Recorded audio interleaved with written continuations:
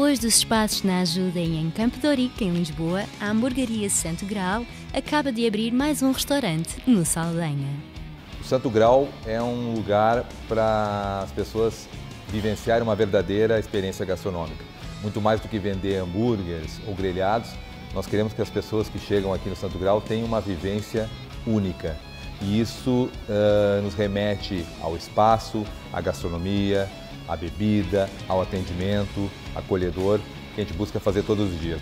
A decoração remete-nos para a época dos Templários com uma espada Excalibur, um menu em formato livre sagrado e um trono super instagramável. E no que tange a questão da gastronomia, efetivamente, entre duas fatias de pão vale tudo para nós. Essa é o nosso, a nossa máxima. E com isso, eu tenho hambúrgueres que me remetem para uma gastronomia germânica, outros para a gastronomia italiana, portuguesa, uruguaia, americana, que as pessoas possam ser surpreendidas com aquilo que está entre as duas fatias de pão.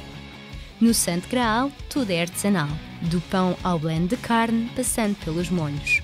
Além dos hambúrgueres, há outros pratos para provar, como o frango frito envolto num ketchup de banana picante ou as tiras parrilheiras com queijo provolone e chimichurri.